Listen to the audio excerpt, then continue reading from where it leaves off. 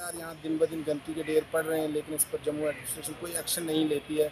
एक तरफ़ से डिजिटल इंडिया कहा जाता है, लेकिन दूसरी तरफ़ से आप देख सकते हैं जम्मू का जर्नल बस स्टैंड जहाँ पे यहाँ पे तो, तो जिला इंतजामिया से यही अपील करना चाहते हैं कि वो जम्मू बस स्टैंड का खास ख्याल रखें।